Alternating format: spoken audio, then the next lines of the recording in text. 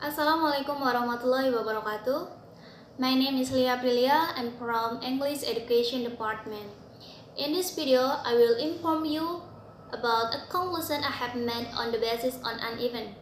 In the commemoration of National Education Day on May 2020, the government organized an event to com commemorate the day with the term Learning from the COVID-19.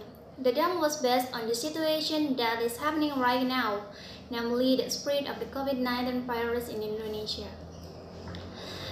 The spread of the COVID-19 virus in Indonesia has a lot of impact on sector Indonesia, one of which is the sector in uh, education. The education sector is forced to conduct teaching and learning activity without face-to-face -face or carried out online. Uh, what was happening now will change people's lives in the future, but a new normality will be formed. Starting from the micro as an individual, for example, is a family, where the family is the most important unit. Furthermore, what will become a new normality is one ability to operate in a new environment a person potential will be effective so that it become a new learning. The third is a sense of awareness of the importance of health. COVID-19 remind people of various unhealthy lifestyle. And then activities carried out with face-to-face will change as a result of this pandemic and the most changing is the, the health and education sector.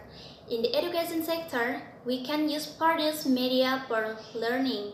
Then parents become aware of the difficulty of teaching children and teachers also realize that the role of parent is very influential in education children.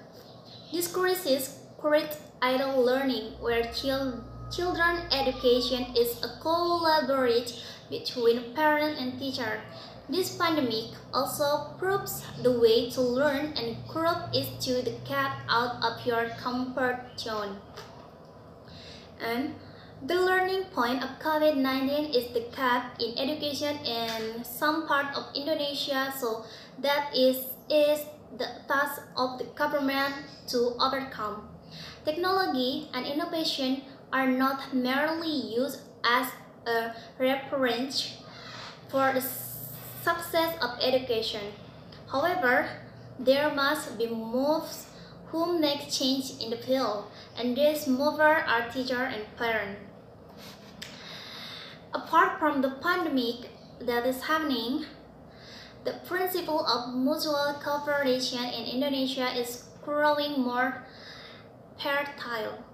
And in the difficult situation like now, we should not see the COVID-19 pandemic from the negative as a disaster.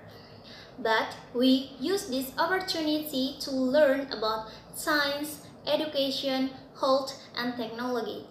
We must also learn about leadership and most importantly, learn about ourselves and conscience. I think uh, enough for me. Thank you very much. Assalamualaikum warahmatullahi wabarakatuh.